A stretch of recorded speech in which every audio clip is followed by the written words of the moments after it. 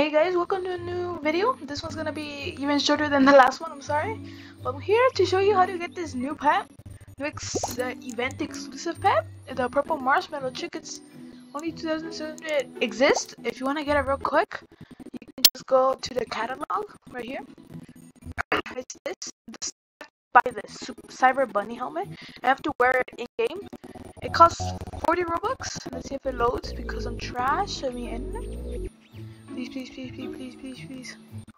Well, it costs 40 robux. Um, it, you have to buy that. You have to wear it to get that exclusive pet.